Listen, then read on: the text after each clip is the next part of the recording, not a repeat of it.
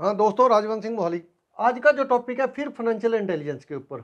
मैंने लिखा है, जब आप गैर ज़रूरी चीज़ें खरीदते हो, जब आप गैर ज़रूरी चीज़ें खरीदते हो तो वक्त आने पर, बुरा वक्त आने पर आपको वो चीज़ें भी बेचनी पड़ती हैं, जो आपके लिए बहुत ज़रूरी होती हैं।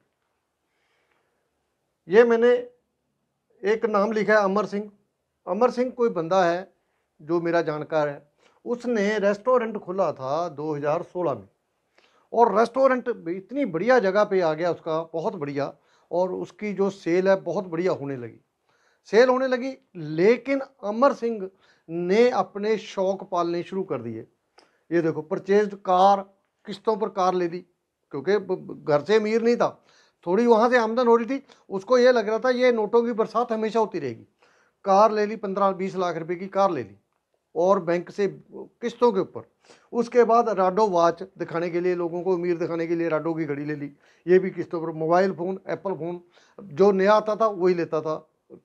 मतलब प्रो प्रो प्रो तेरह शायद उसने लिया था तब। तो उसके बाद और भी एसेसरी वगैरह ली उसने। तो ये किस्तों के ऊपर ले लिया उसने। तो उसको पैसे आ रहे थे जब 2016 से चल रहा था, बहुत बढ़िया चल रहा था तो सारी किस्तें उतारता रहा। लेकिन कुदरत की कुछ ऐसी खेल हुआ खेल के restaurant close in 2020 due to corona corona आया और रेस्टोरेंट बंद हो गया। सबसे ज़्यादा ज़्यादा प्रभावित जो बिज़नेस हुए हैं, वो खाने वाले हुए थे।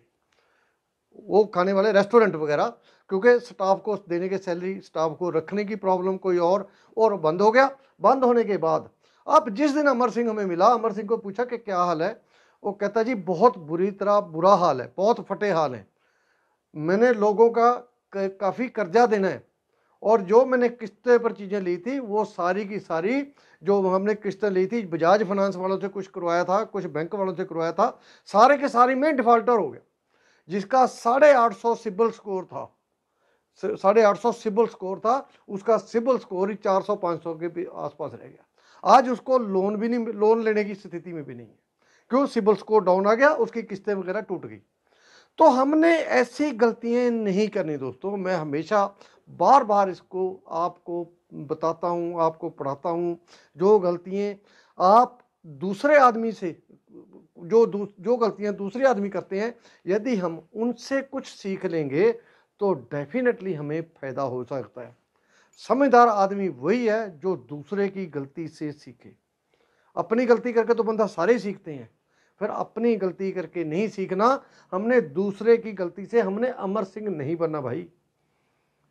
क्या ज़रूरत थी राडो घड़ी लेने की या और लेने की?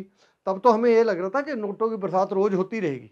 लेकिन पता नहीं कुदरत भी कोई चीज़ है।